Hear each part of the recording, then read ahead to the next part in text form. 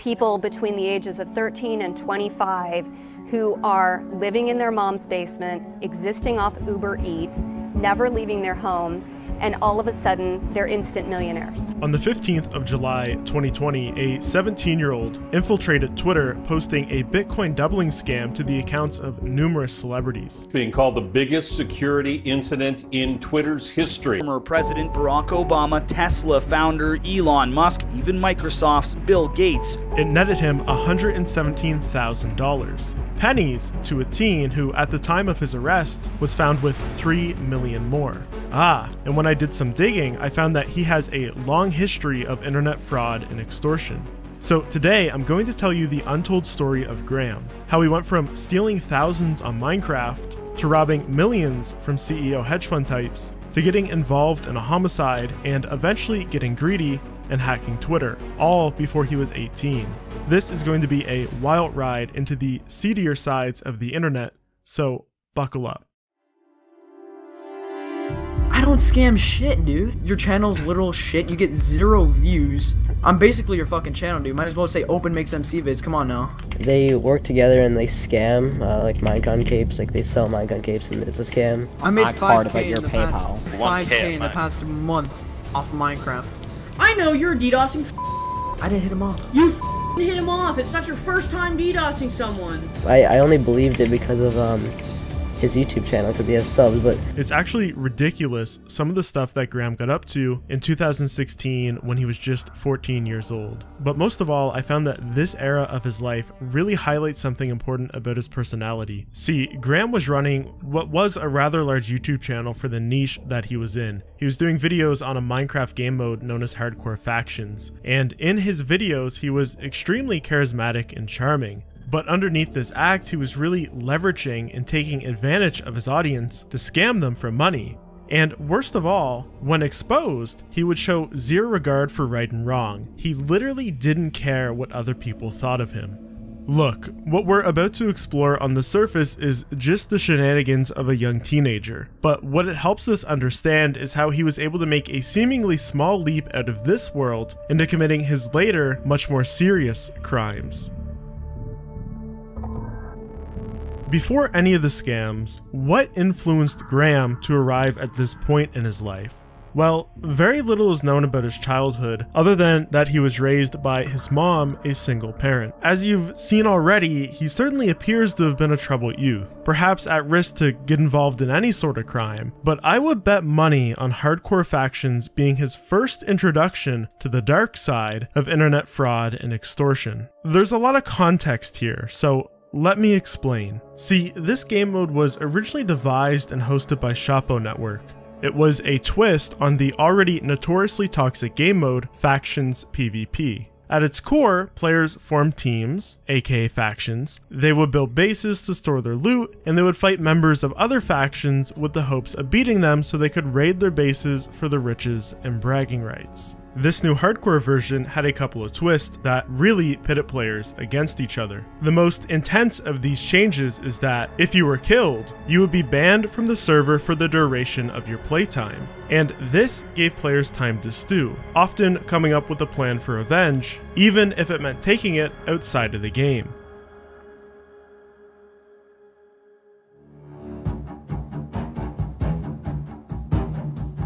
During this era, Minecraft cheating clients were becoming extremely popular due to griefing teams on YouTube glamorizing their destructive nature, and Hardcore Factions was no exception to this. With the stakes so high, it was almost irresistible. X-raying was one thing, but the real power was in the PvP cheats. Players were almost forced into it to remain competitive. Now, that said, I don't think the actual cheating was the worst part. No, the worst part was the culture around these clients. See, hardcore faction players were known for DDoSing, account hijacking, and even swatting.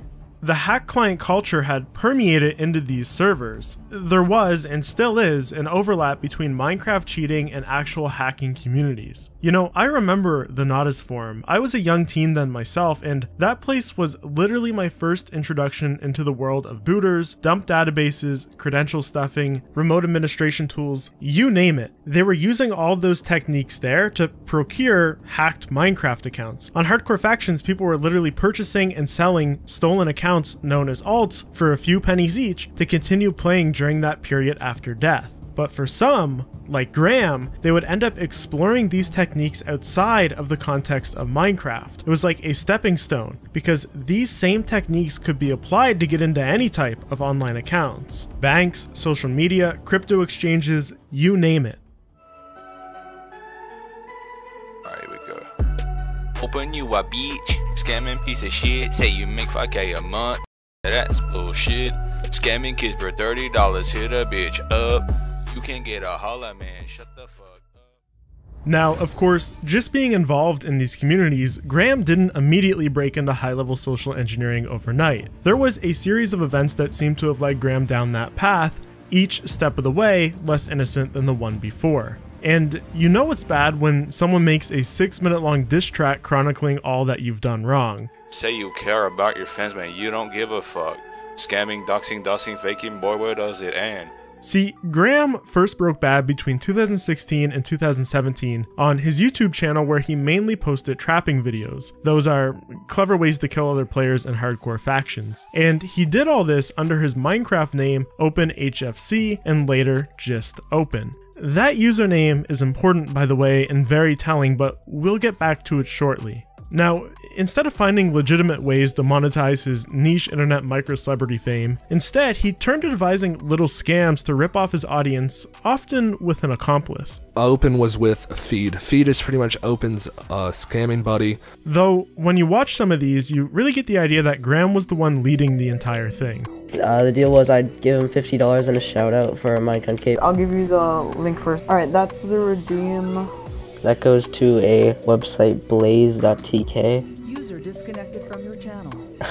He says that he's looking for server trailers to upload. Do not work with this guy. He charges like $200 a trailer and then he doesn't even upload them. He just runs away with your money.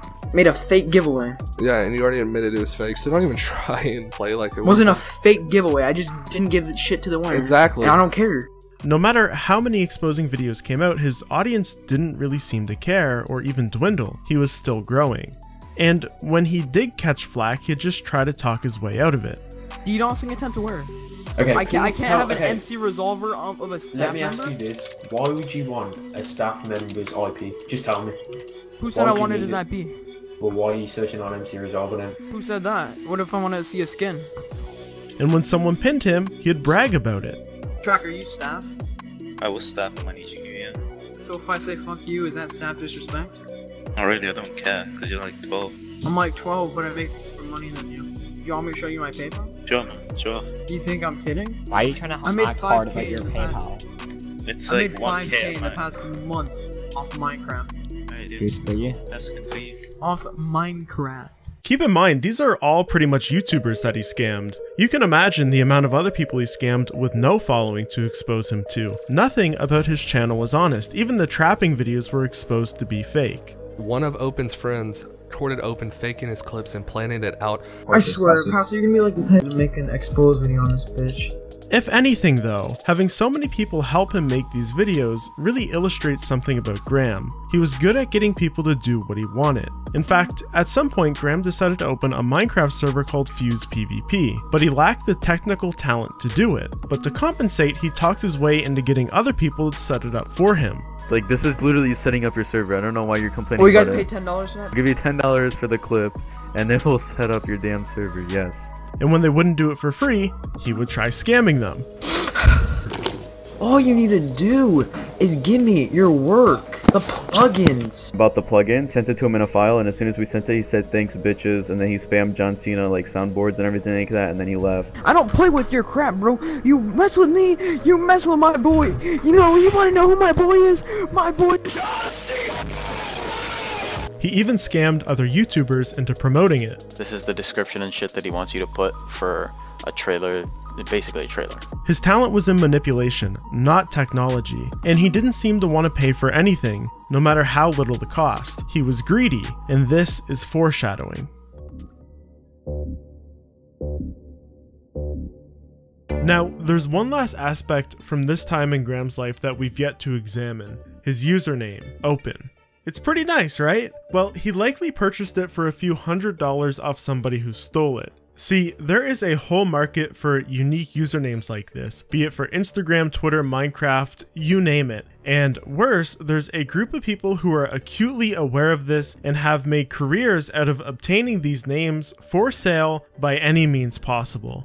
The most notorious form for this is OG Users. It's a known marketplace where these types of usually stolen social media accounts are traded. While of course they don't openly advertise or condone the illegal side of how members obtain these accounts, some of the worst stories of targeted harassment and extortion that I've ever heard of were committed by members of this forum. And by 2016, Graham had set up an account to buy and sell usernames here. But it wasn't until 2018 that he really got involved, basically right at the end of his Minecraft scamming days. Hardcore Factions was falling out of popularity, and so this was a natural transition given that the communities are somewhat linked already and Graham has a proclivity for making bad decisions in the pursuit of money. You've got to understand, a good name like at Panda on Twitter will go for thousands of dollars. There's serious money in hacking them and the members of this forum have varying levels of experience. Of course, the vast majority have no idea what they're doing, but at the very top you have a handful of folks that are versed in blackmail, doxing, phishing, sim swapping, to name a few of the techniques that they use to take over accounts. And Graham, being a social butterfly, was getting himself involved with that more experienced crowd.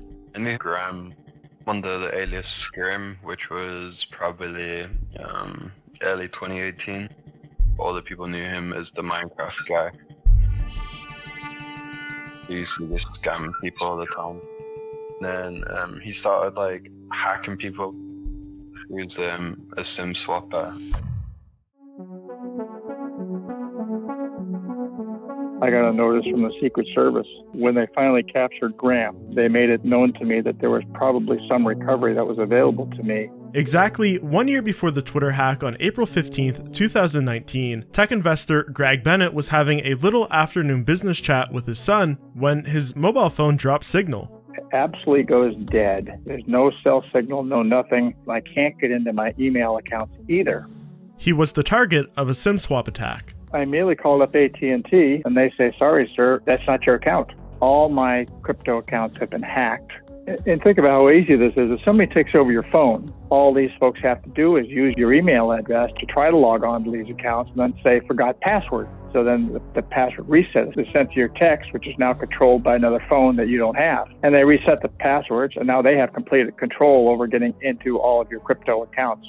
This type of attack was becoming more and more common. While it was originally devised to break into social media accounts to steal their rare usernames, perpetrators on OG users quickly realized that they could use the same techniques to break into the accounts of large crypto holders the way Graham used to find his target, he would go on like the Twitter accounts of Coinbase, Bittrex, Binance, and he'd see who looked rich, who didn't, you know, who flexed, who didn't, who looked uh, more wealthy. Once Graham and never identified accomplices targeted Greg, they would have doxed him to get his phone number and email addresses, and then used that information to execute the SIM swap. In total, they got away with what amounted to be 164 bitcoins. A hundred of that was straight Bitcoin, and the other 64 was various altcoins. At the time, that was worth $856,000, but in today's value, it would be worth 6.3 million. So what the heck does he do with it?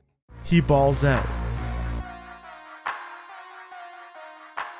According to the Times, Graham was attracting attention at school because he seemed to have an unusual amount of wealth for his age. He was buying designer clothes, apparently flashing large amounts of cash, and of course he had that BMW 3 Series.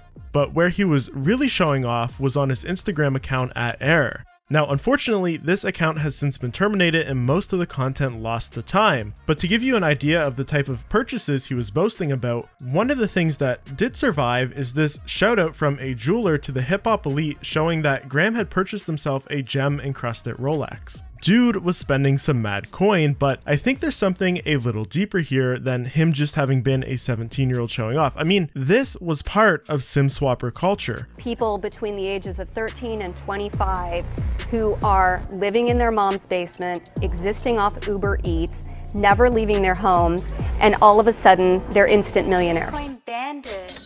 I've been in the kitchen, wrist twisting like a trick shot. Most you rappers got no bars like a sim swap. E girls dropping ass. There was idolized members of OG users like Windblow, Xavier, and Joel, who between 2016 and 2019, without any punishment up until then, stole into the tens of millions of dollars by sim swapping, and they were openly living lavish lifestyles because of it.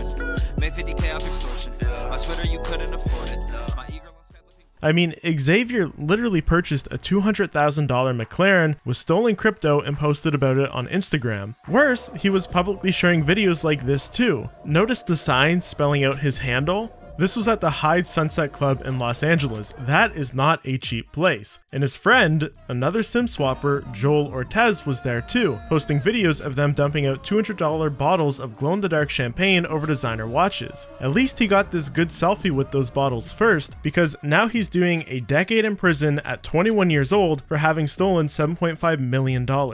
I digress. These were all young guys stealing a ton of money, spending it fast, and boasting about it, and I can totally see how Graham could have idolized these people, and perhaps that's why he seemingly followed in their footsteps.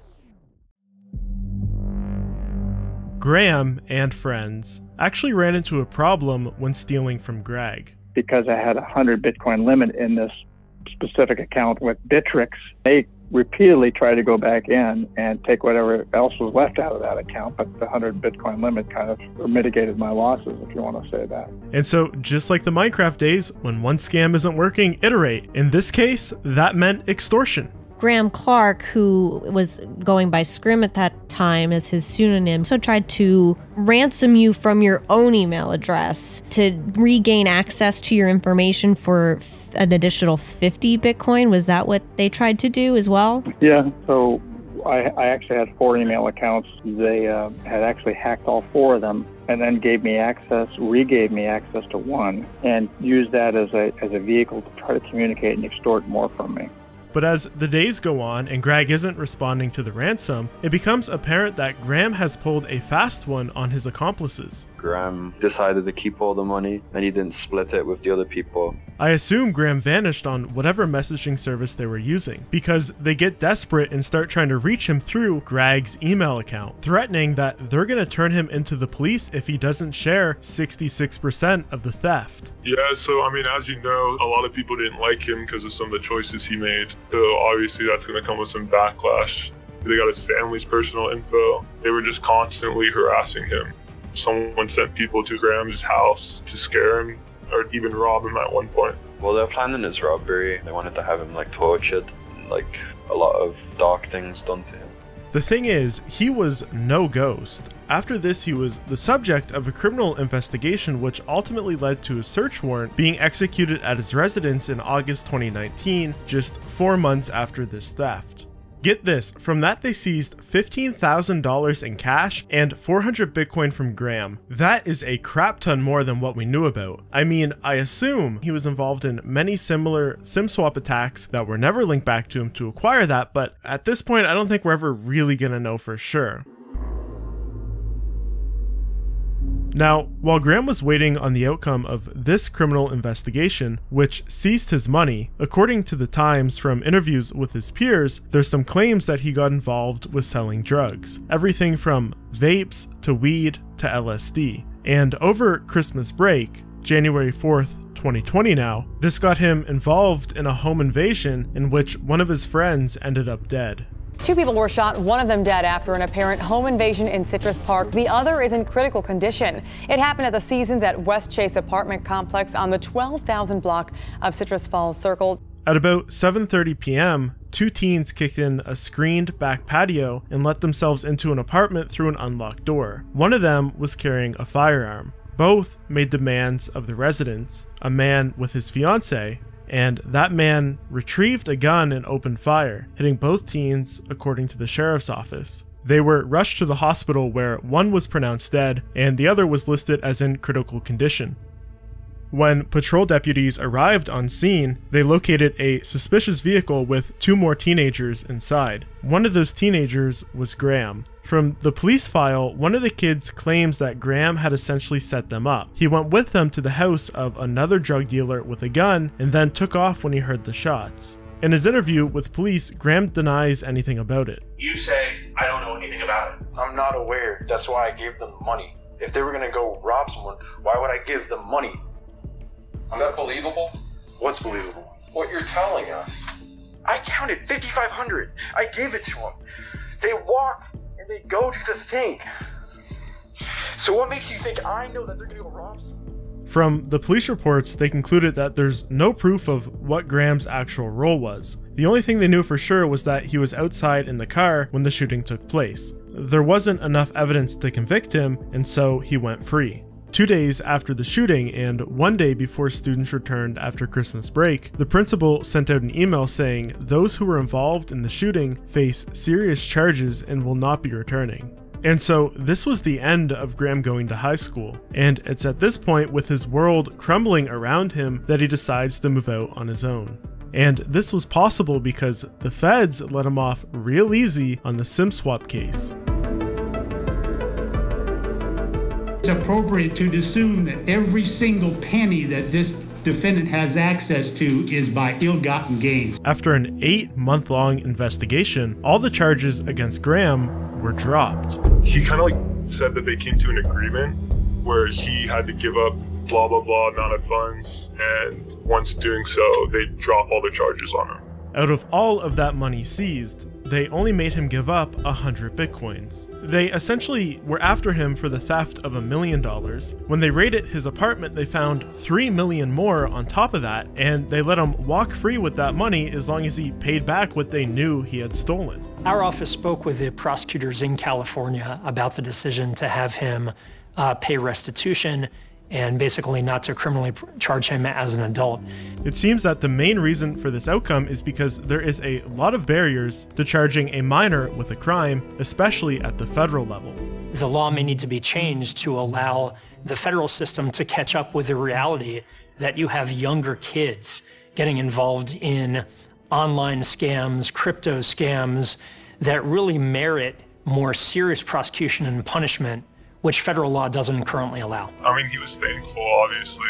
It could have went a bad way. He wanted to like move forward and like invest all the money he's made over the years into like a legitimate business. He wanted to work on being a better person in general and like moving on to more legit things. But I think the real lesson Graham took away from this is that as long as he's a minor, he can steal all this money and get away with it because two months after April 2020, when he got back 75% of his seized assets, he went on to hack Twitter. And this is important because Graham's birthday is in January. He had less than eight months before he turned 18.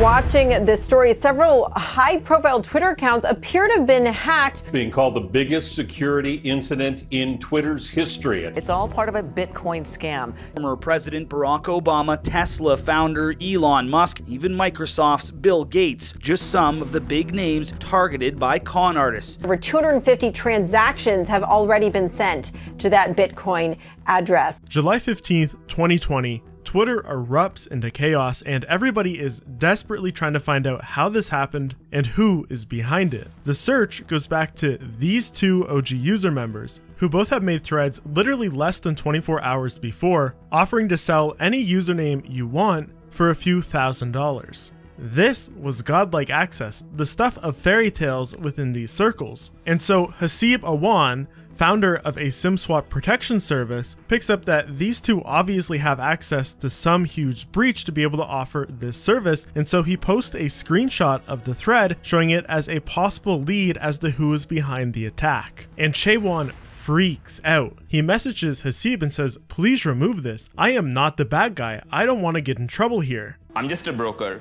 I had no involvement in the hack and it's freaking me out. He was just trying to prove that hey, I'm just a middleman. I actually didn't do anything. Turns out this was a 19 year old from the United Kingdom, Mason Sheppard, and he was very scared about what his implication in all of this was going to be. And Haseeb, having the foresight that this guy is likely going to be arrested within 24 hours, suggested that he talks to a journalist right away to set his side of the story straight. It turns out that he had been contacted along with another OG user member, Nima Fazeli, aka Rolex, by this mysterious Discord alias Kirk, claiming that they work for Twitter and they can get any username. Neither of the soon to be accomplices believe it. Scams run rampant within these communities, and so they both say, prove it. And Kirk does. He proceeds to give them both access to rare handles, along with sharing pictures of Twitter's internal tools. To quote Rolex's response, Damn, I'm in.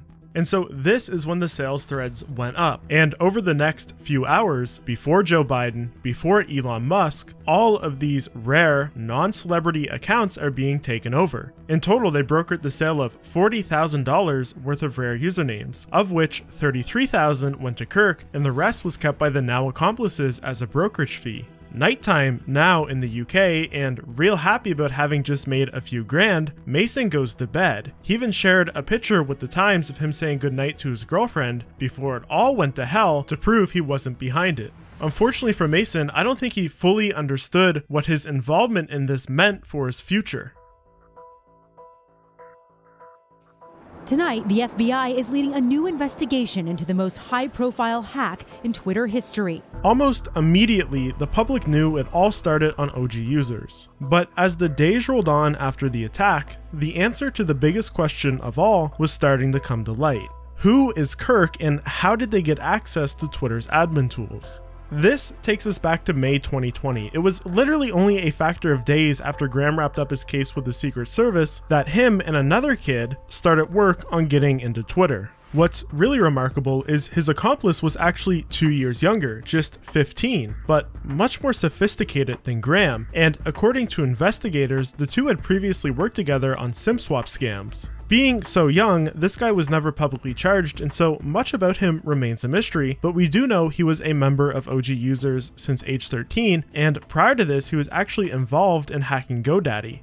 By this time, SIM swapping was becoming harder than ever. With so many high profile cases, crypto trading platforms were making the move to non SMS based two factor authentication. And so these two took the same set of skills, but applied them to a new target. The self employed attorney, not a fan of working from home, but two months after sheltering in place, Twitter is making the idea a permanent option for some.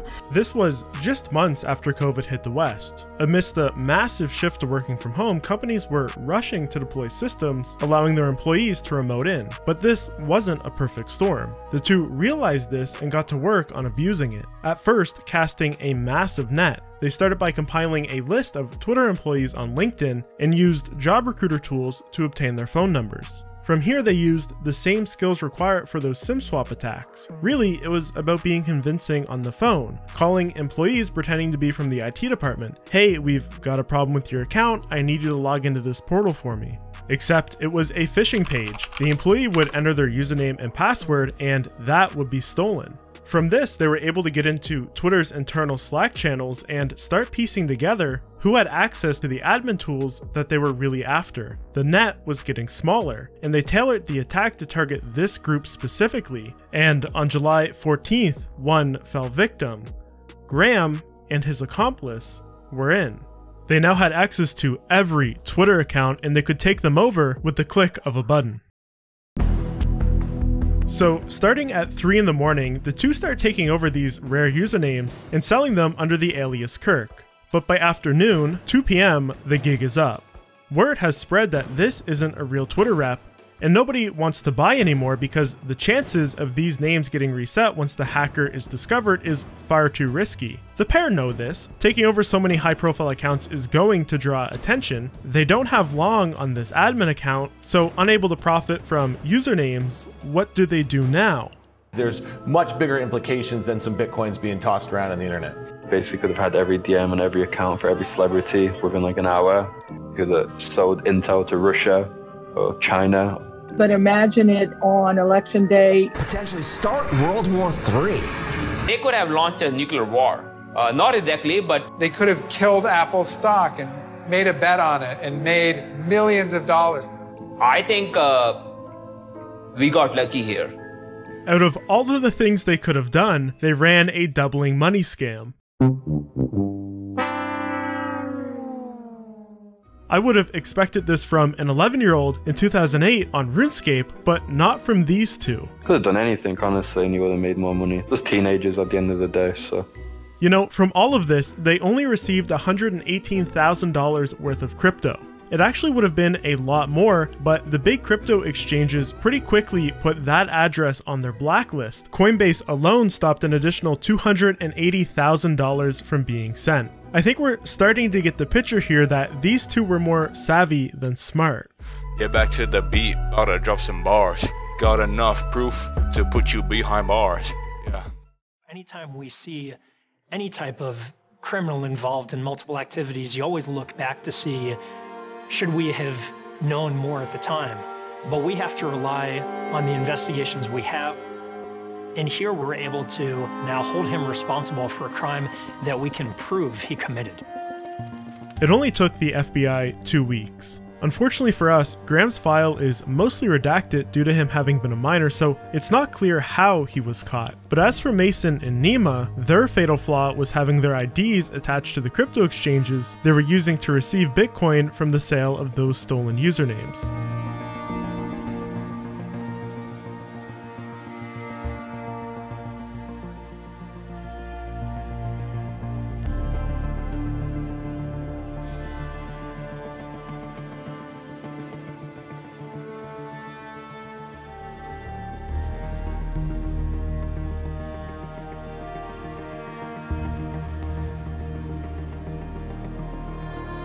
Makes me sad to see these two young men face such harsh, complicated, and uncertain futures because really they were used by Graham and then media took advantage of them, convinced them that their best play was to come clean about their involvement with a crime so as to make their non involvement clear. And as we've seen, Mason was particularly vulnerable. These were the first two individuals known related to the Twitter hack because of those articles, and it made it really easy for readers to lump these youth in with the real criminals, that is, Graham and his accomplice.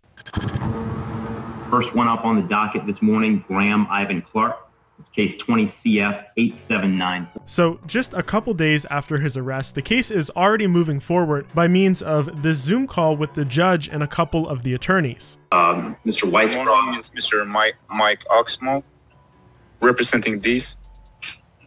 And by now, word had gotten back to OGUsers, and they were freaking out. They thought their forum was going to get shut down. But one thing OG user members are known for is trolling, be it random people online, be it Zoom calls with judges, and so a bunch of them joined this posing as news agencies. I was just wondering if you're gonna like uh, take Updog into consideration in the Graham case.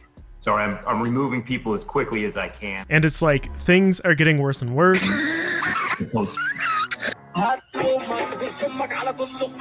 and then finally, someone manages to take over the screen and they start playing this pornography. Uh, as, as was pointed out to the duty judge, why why would we'll um, just re, re, reapply. I'm going to end this. Reapply to call to. to this just reminds me of Call of Duty lobbies. It's a stark reminder that for most of these people, they're teenagers. And for someone like Graham, they gave him second chances. They gave him opportunities to turn his life around and do the right thing. And so, what do you do with him now? All new at 6, the Tampa teen accused of running a Twitter hack on some of the most famous people in our nation made his first appearance in court today. Hillsborough State Attorney Andrew Warren filing 30 felony charges against 17-year-old Graham Clark. Graham was being charged as an adult and faced up to 210 years in prison. On top of this, his assets became a hot topic. Clark was the subject of an earlier investigation that ended in April, in which his defense attorney says he had around $3 million worth of Bitcoin. The FDLE alleges Clark used some of that money to set up infrastructure for this Twitter hack. They put a $750,000 bond on Graham and prosecutors requested that he be forced to prove any funds used to post bail were legitimately obtained. They didn't want him using that Bitcoin. The judge granting that wish. Graham ended up sitting in prison for seven and a half months before eventually entering into a plea deal. Hey, Mr. Clark, do you understand that those are the facts you're pleading guilty to? Yes. Clark's six total years of punishment are the maximum allowed under Florida's youthful offender law. That youthful offender status is available only once in a person's life.